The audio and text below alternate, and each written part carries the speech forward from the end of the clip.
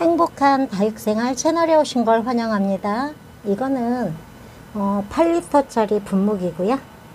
어, 지금 물이 8리터 용량 가득 어, 들어가 있습니다. 아, 그런데 이제 아이들 이거 과산화수소수 이걸로 어, 살균 방지를 해주려고 하는 거고요. 이거는 예방 차원에서 하는 거기 때문에 어, 치료약은 아닙니다. 그리고 제가 겨울에 잿빛 곰- 곰팡이 때문에 이걸 한번 사용을 했었는데 어, 겨울 내내 지금까지 곰팡이 증식 없이 뭐 다시 생기지도 않고 어, 그래서 이제 효과를 좀 본 것 같고요. 그래서 지금 요거는 이제 용량은 비율이 물 8리터에 음, 1리터당 10ml에서 15ml 이 정도 사용하라고 되어 있으니까 어, 지금 지- 제가 가지고 있는 이게 250ml거든요. 어, 요거 반 통을 요 8리터에다가 부을 거예요.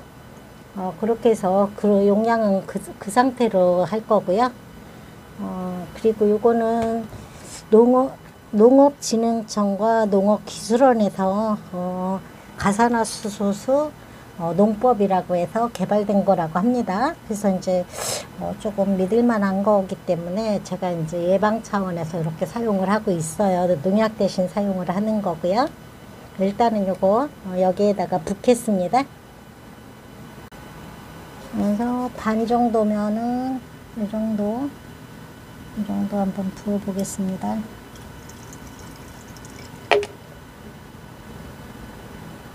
조금만 더 볼게요. 음, 이 정도면은 반 정도 분 것 같아요. 그래서 이걸로 이제 방제를 할 거고요.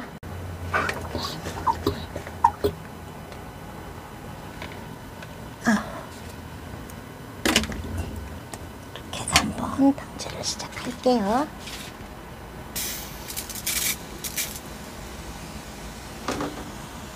옆면 옆면 시비를 하는 거기 때문에 어,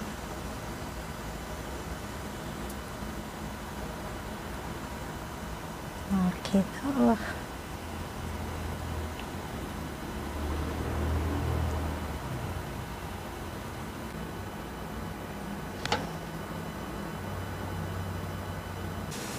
이렇게 해서 방제를 해가지고 8리터에 지금 한 125ml 이 정도 들어갔어요.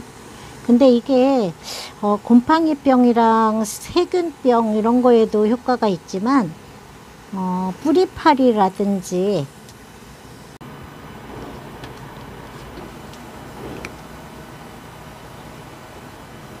이렇게 해서 방제를 하고 있는데요. 어, 일단 이게 가산화수소수가 어, 여러 사람, 여러분들이 사용 많이 하셨고, 또 농업용으로 기술 증진을 예, 무슨 농법으로 가산화수소수 농법? 이렇게 해서 농촌진흥청하고 농업기술원에서 어, 거- 적극적으로 권장을 하고 있다고 합니다. 겨울에 제가 이거를 아이들 베란다에서 어, 제- 어, 방지를 했었는데 그때 효과를 좀 많이 봤어요 제가. 어, 그래서 이번에 또 다시 쓰게 된 거고요. 그래서 지금 이제 이렇게 옆면 그 잎사귀들에 이렇게 방지를 하고 있는데 아이들 어, 그래도 튼실하게 어, 잘 크고 있습니다. 오색 기린 좋아 대단하죠? 자, 지난번에 제가 분갈이 해줬던 건데.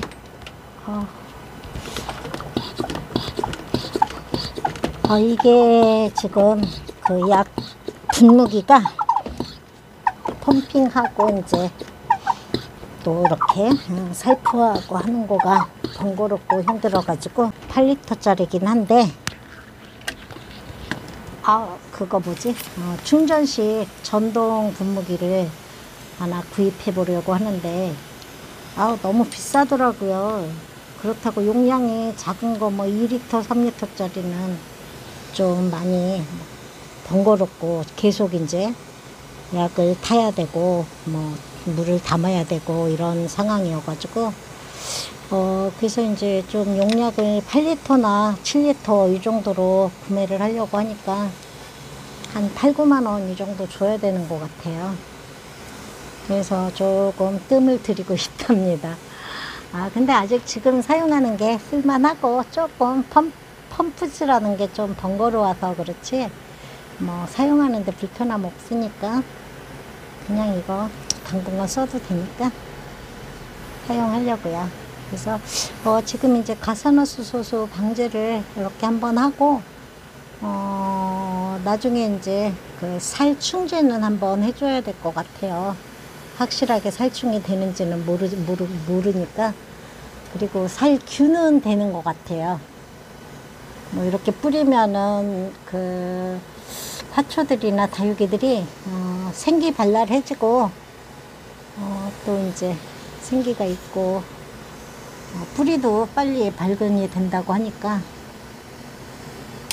그리고 살균제로 예방 차원에 사용하니까 어, 효과를 조금 안 본 게 아니니까 봤던 부분이니까 그렇게 해서 사용을 하려고 합니다. 어, 뭐가 떨어지는 소리가 났는데 뭔지 모르겠어요 지금. 엉뚱한데 막 비치고 있죠. 이렇게 해서 조금 번거롭고 불편하니까 아 일단 그 카메라 없이 어, 살포를 하겠습니다.